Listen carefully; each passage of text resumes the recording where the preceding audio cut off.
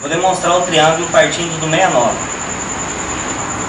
Tá aqui nessa posição, você vai pular com o joelho para fora, em cima do peito do adversário. Gira, passando o tornozelo por baixo da nuca do adversário.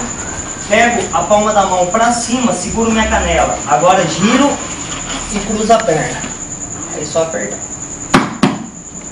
Tá aqui nessa posição, você vai pular com o joelho para fora, em cima do peito do adversário. Gira, passando a perna por baixo da cabeça. Pega a mão, palma para você, segura seu tornozelo.